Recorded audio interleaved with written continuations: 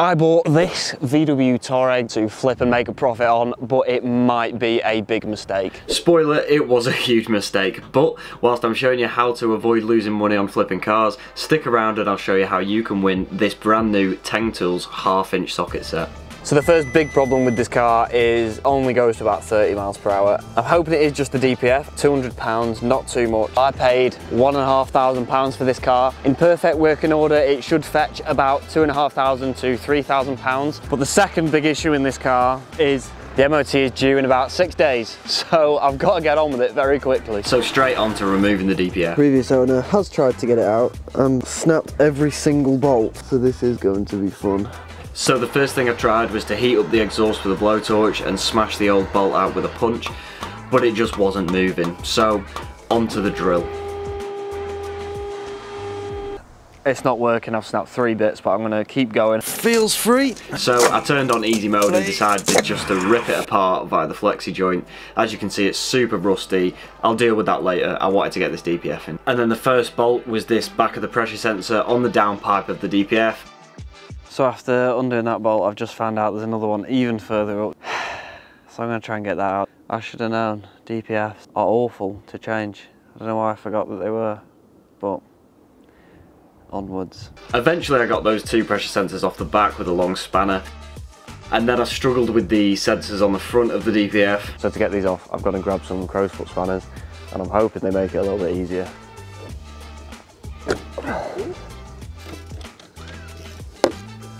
Lovely jubbly.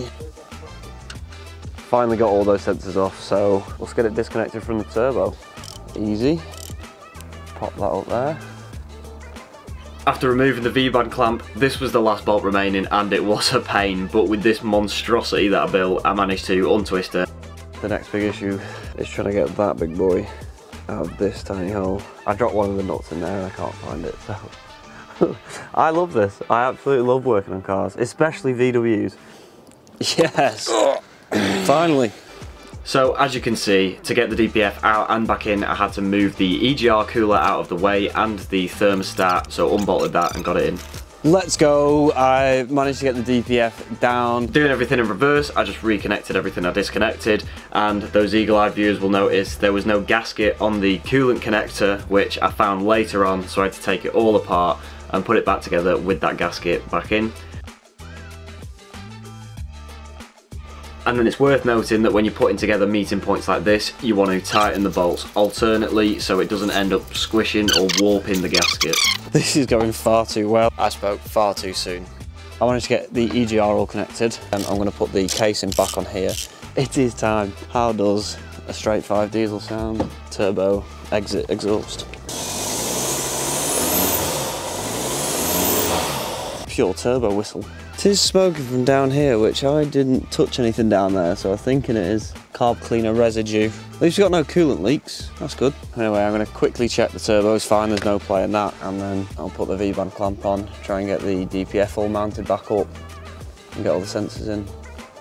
Cleared all the codes, and it drives fine. The glow plug light is still on, and I'm not sure why. Still haven't got the centre pipe in yet. I've got an MOT in two days time, so I have to get it sorted. I can't find the new one local to buy that'll be here in time, and I just can't get this old one separated. I'm gonna get that centre pipe done one way or another, and then get on to cleaning it and fixing up those other little issues. I managed to grind off the head of the bolts and then drill through it eventually and separate it with a pry bar.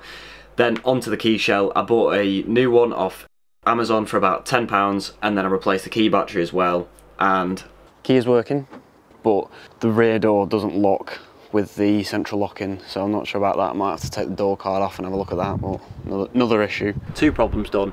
Just need to clean it inside and out, and this thing's a mess. So for the wheels, I used Dragon's Blood pH neutral wheel cleaner and fallout remover. Really get great products, would recommend. And all the links to all my equipment and chemicals will be in the description. If you are thinking about picking anything like this up, please use the affiliate links in the description because I get a tiny cut which helps me buy new equipment, new cars for you guys and level up the video production with new cameras, lenses, stuff like that. So I was using Bilt Hamber Auto Foam as the snow foam, some nice soft bristled brushes to get into those cracks and hard to reach places And then after that, obviously rinse all the snow foam off and back to shampooing the car with Meguiar's Ultimate Car Shampoo. Don't forget to stick around because I'll be announcing who won the previous quarter inch Deltec giveaway and telling you what you need to do so you can be in with a chance to win this brand new Teng Tools half inch socket set. The RRP's for about £80. I'm using a Nilfisk pressure washer. I've used it for my business for over a year now and I've had no issues with it whatsoever. I could do with a longer cable on it but other than that it's perfect for what I'm using it for. So my dad very kindly helped me dry off the car to get it done faster because as you can see the weather was dreadful.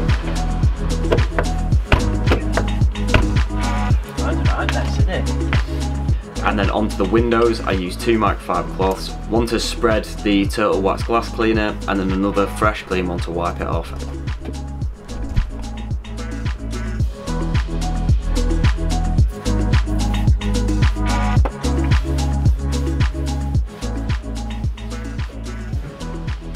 As you can see the car is looking fantastic it's going to be easy to sell like this I'm sure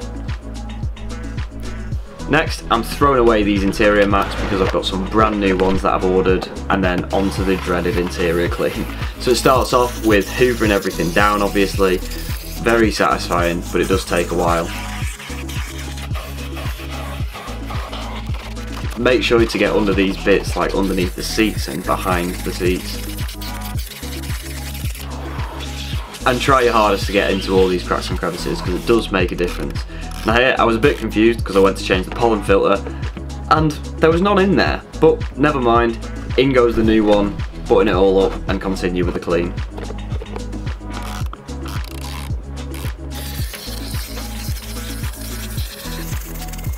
So it took a while to hoover this because it was full of dog hairs and it was definitely a farm vehicle at some point because I even found pheasant feathers hidden in between the seats.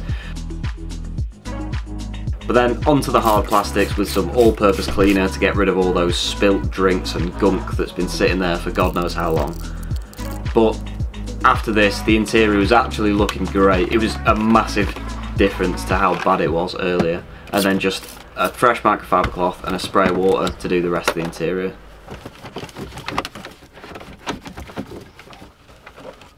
So I've just got back from the garage where the car's been in for its MOT and it has failed. Ah. So it's failed on the rear left caliper is sticking when driving. The rear left spring has snapped. Parking brake efficiency below requirement. That's the handbrake, it should just need tightening up. I need to wet vac the seats because they are absolutely rancid and the car stinks. So I'm hoping that's going to improve it. Let's just get this car fixed, MOT'd, cleaned and sold.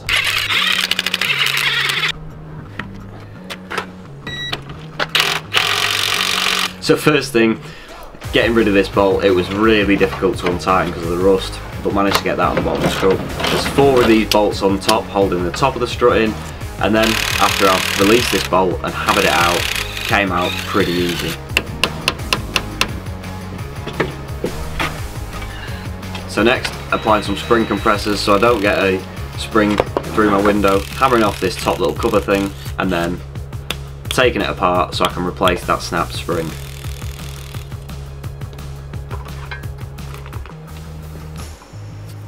Should be attached there. Again, to tighten it, I had to use an open-ended socket, which my dad had, which was fantastic, and he just held the end with a pair of pliers.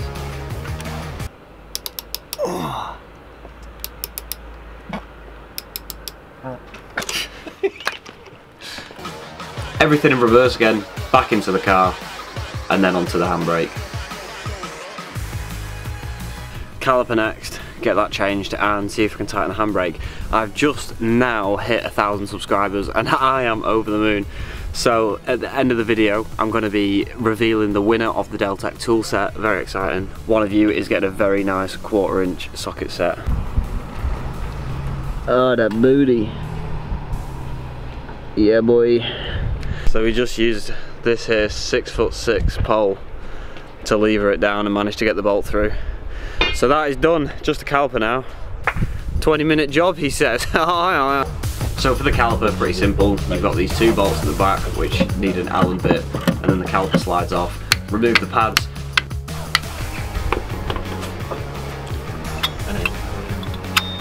remove the pad sensor,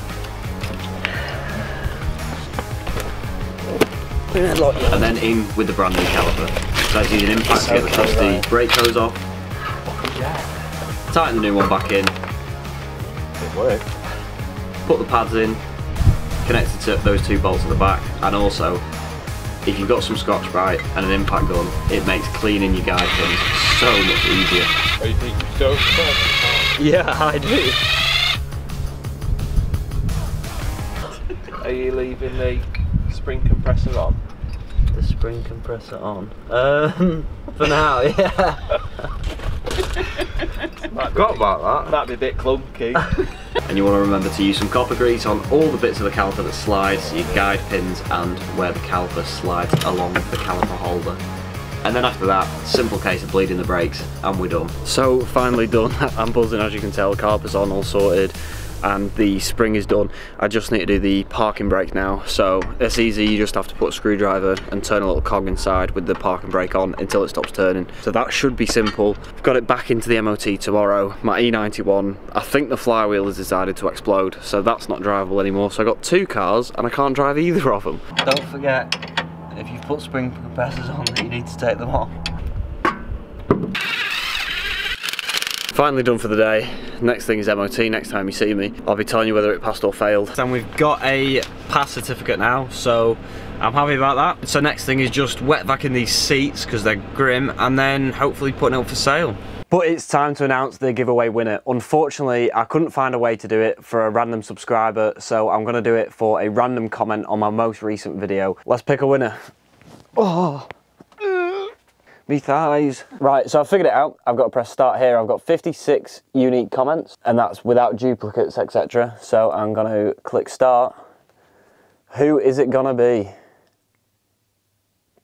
Haxer. I'm really happy it went to someone who's excited about the new videos. So I hope you're really happy with your Deltec toolset. And you know what? Because after a week of hitting a thousand subscribers, I've already hit three and a half thousand, which is insane to me. Because it took me six months to get just 900. And to say a huge thank you to you guys for that, I've partnered up with Teng Tools to give away this brand new half inch socket set. So a huge thanks to Teng Tools for partnering with me for this video. If you want to win, all you have to do is subscribe to my channel, follow me on Instagram, the link will be in the bio, and post a comment on this video. And to choose a winner, I'll do it on a live stream on this date, but don't worry, if you can't get there, I'll still message you on Instagram. Teng also sent some surprise gifts, so I'll be doing a few second, third, fourth prizes on the live stream. So get subscribing, following, and commenting, and you might win this set. And now onto the satisfying wet vac. Again, all products will be in the description, but I just use some interior cleaner all over the carpets. Use this drill brush attachment to agitate it and then suck it all up. I tend to use boiling water in the wet vac. I find it helps loosen that dirt. Give it a quick spray and then just keep going until the water comes through the gun clear. I've run out of water already just from doing the boot. That was pretty bad, but I don't think the footwells are going to be any better. As you can see, it looks great, so straight onto the rest of the car. Can't wait to get these brand new mats in and be done with the interior. This is one of those things that makes a huge difference to the car. It got rid of the horrible smell and the carpets literally transformed from brown back to how they should be, a nice grey. It's a shame I'll be covering it up with those mats, but they do look pretty good.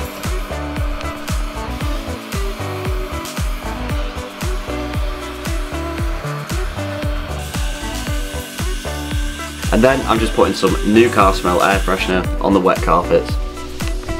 So as you can see, that's the interior all done, thank God. It's my least favourite bit about flipping cars. I'm going to leave the windows cracked, keep the engine running, get all the heaters on full blast, make sure all that stuff dries off. My friend has got an Autel computer, so I'm going to use that, hopefully. That can tell the ECU it's had a new DPF, reset all the values to zero, and that engine check code should go, and it might run a little bit better as well. But if I can't do that, I'm really going to struggle to make money on this car. I definitely bought this car for too much money. I've put about £2,200 into it.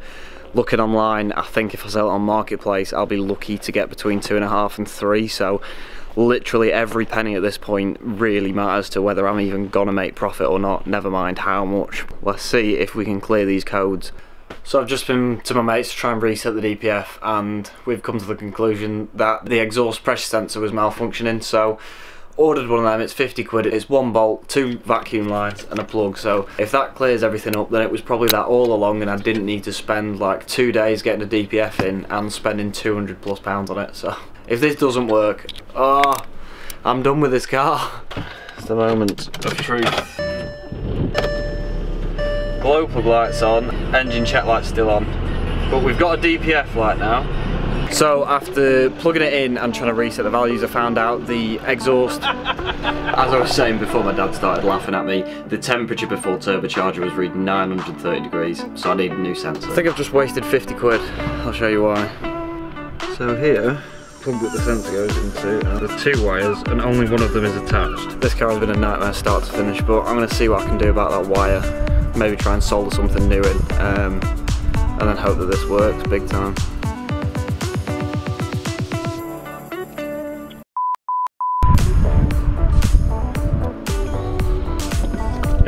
Certainly not pretty, but it works. I'm gonna have to redo that, I think. Let's see if there's an engine code.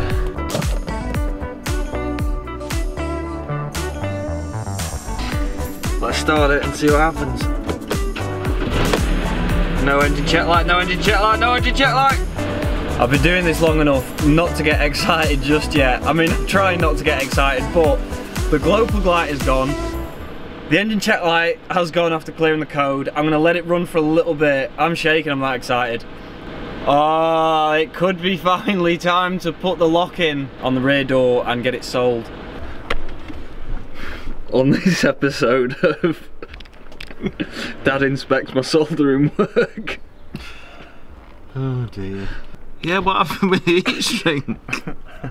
Uh, man, drives so well, but turns out all this car need, granted it did need the caliper and the spring, but the only other thing it needed was a 50 pound sensor and a bit of soldering. Oh, So the final bit of work that I needed to do, I pulled it into my mate's garage, took the door card off, took the inner skin oh, off, and then replaced the central locking unit. It cost me, I can't remember, about 30 quid from a second-hand dealer on eBay. Managed to insert that, put it all back together again, and I was very happy when it started working. It took me about three tries to disconnect it and reconnect it because I didn't put the handle in right and it wasn't working, but we got there in the end.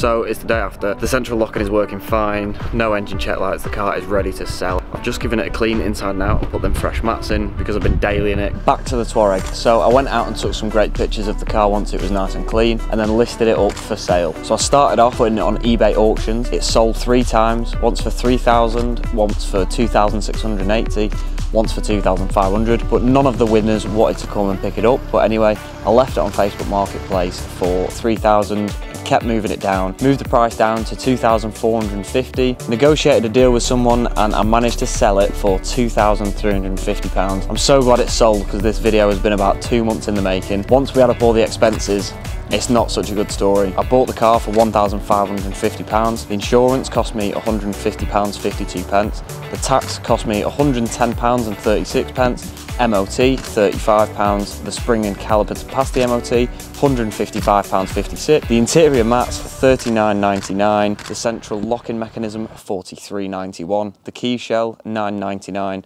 The wheel balancing, £32. The DPF cost me 206 pounds 66 pence. The exhaust pressure sensor cost me 48 pounds 49 pence. Luckily, I did end up selling the old DPF to a scrapyard and I got 90 pounds for that. And that leaves me with a huge profit of minus two pounds 48. So it goes to show it's not always big numbers when you're flipping cars, but the advice that I can give you is make sure you get it for the right price because I paid too much for this car. Make sure you check when you're buying it that there's nothing wrong with it, that they haven't talked about because this had way more problems than they initially said. And yeah, if you're not sure about a car, just don't buy it.